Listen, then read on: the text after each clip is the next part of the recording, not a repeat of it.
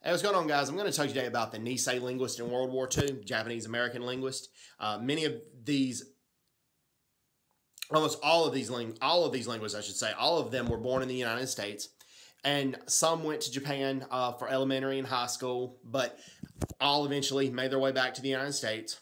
Okay. And when World War II broke out, they fought on the side of the United States. And how they fought on the side of the United States is they translated a lot of key Japanese military documents. They also interrogated a lot of Japanese prisoners of war. And Dr. James McNaughton, a former historian in the United States Army, he was a soldier, and his job as a soldier was a historian.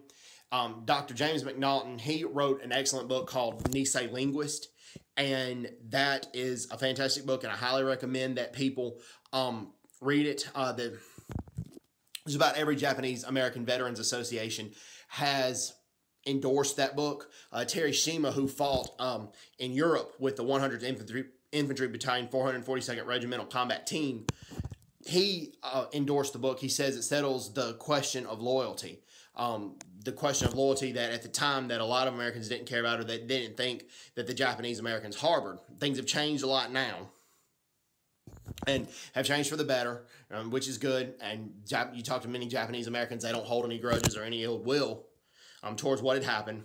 But, okay, one of the Nisei linguists that fought for the United States against Japan was a guy named Thomas Sakamoto and he attended a military high school in Japan.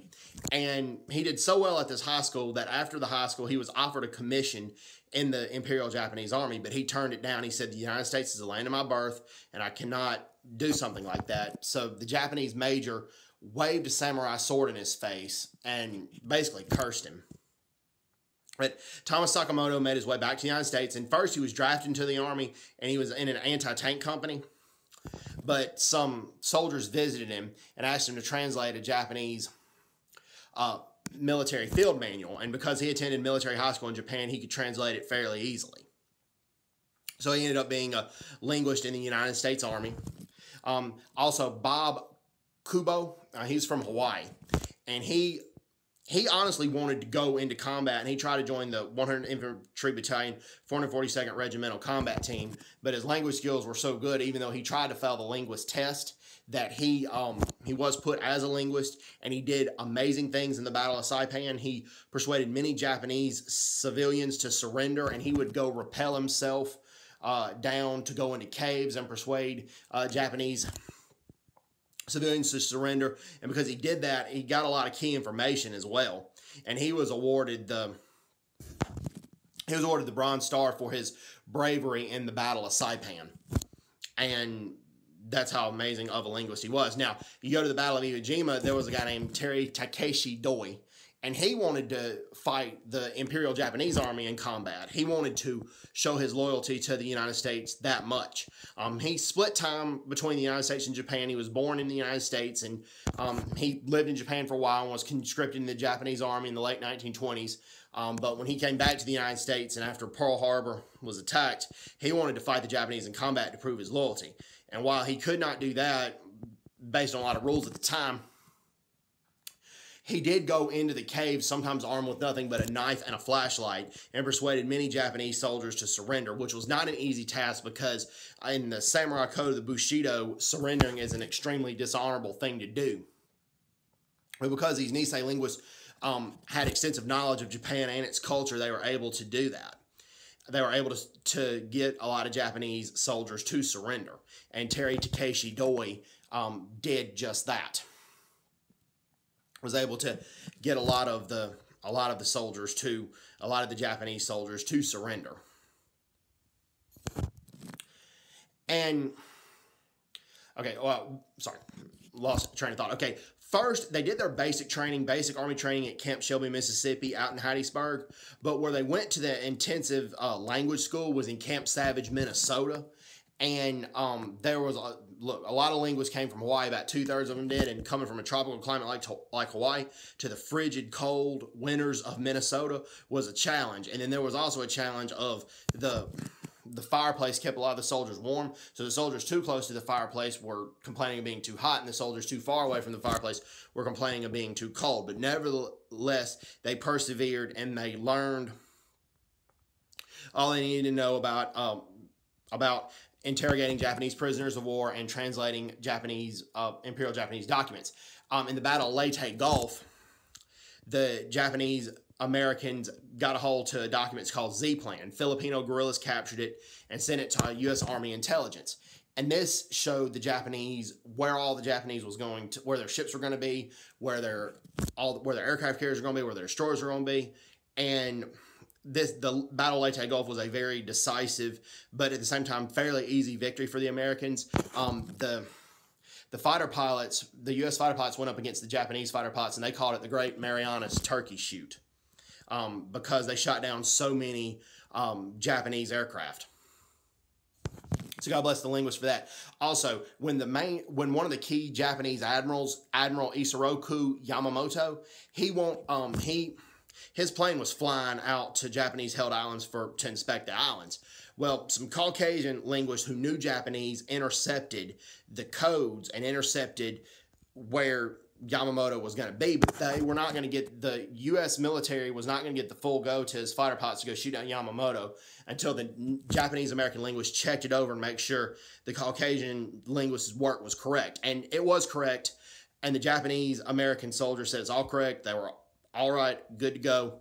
And so the U.S. ordered the P 38 Lightning fighter planes to go shoot down Yamamoto's plane, and they did. And that was a big, big morale defeat for the Japanese when Admiral Yamamoto lost his life because he was one of the best commanders that they had, that Japan had. So that's that, and also it has been proven that the linguist, the Nisei linguist, the Japanese American linguist, shortened the war for two years. Um, for two years, and that a lot of uh, and they saved a lot of American lives because they translated a bunch of key documents. Um, the main Japanese American behind um, the the language school was John Aiso, and he was a major. Now it was rare for Nisei soldiers to be commissioned in the officer ranks, but he became a major. He was drafted into the army before the war, and he became an auto mechanic, and he was just looking forward to getting out and being a lawyer. But when Pearl Harbor was attacked, and Pearl Harbor was attacked, um, he still had his plans, but the white, some white soldiers came to him and said, "John, your country needs you. Your country needs you." And he he had a lot of pride, and he also swelled up, almost swelled up with tears because he said, "Honestly, this is the first time." Americans have called America my country, which he always thought it was because growing up in a home, he always had pictures of Washington. His family always had pictures of George Washington and Abraham Lincoln, and they always said their prayers, always prayed to Jesus. Um, but because of his skin color, a lot of people thought otherwise. But the soldiers who knew John Aiso knew what he was capable of. They knew he was a very loyal American, and he helped with the language school. And he was a very strict instructor. Um, a lot of the people that served under him didn't like him, but they commanded a lot. They had a lot of respect for him too, because he made them the linguist um, that that they were. Um, also in the Aleutian Islands in Alaska, that's a forgotten battle of the Pacific Theater. There were some Japanese American families living there, just about two or three, but the Japanese American linguist translated any letters or um, any letters that they had written to their relatives in Japan. Turned out they were not they were not Japanese spies at all, and the Nisei linguist there helped prove their innocence. And a Nisei linguist there went in caves in the Aleutian Islands and persuaded a few Japanese soldiers to surrender. And, and a bunch of them nearly died in an, in an avalanche, but fortunately, other soldiers were there to wake them up and get them out of the avalanche. That was a scary time for a lot of the linguists as well. Also, in the China Burma India theater, a lot of linguists parachuted with some American special ops regiments and then the American OSS, which was the CIA at the time. And Roy Matsumoto got on the speakers and started speaking Japanese to the Japanese soldiers, telling them to charge this way or go this way. And the Japanese soldiers thought it was their own commanders on the broadcaster, but it wasn't. It was a Nisei linguist, Roy Matsumoto. And that caused a lot of Japanese casualties, and that's why America was able to win a lot of successful battles in the China Burma India theater. Also, Grant Hirabayashi was there as well, and he was allergic to K rations, to a lot of the um, contents in the MREs, but he prevailed and just ate the bare minimum and kept pursuing because he didn't want to get sent home. He wanted to do his duty for the United States.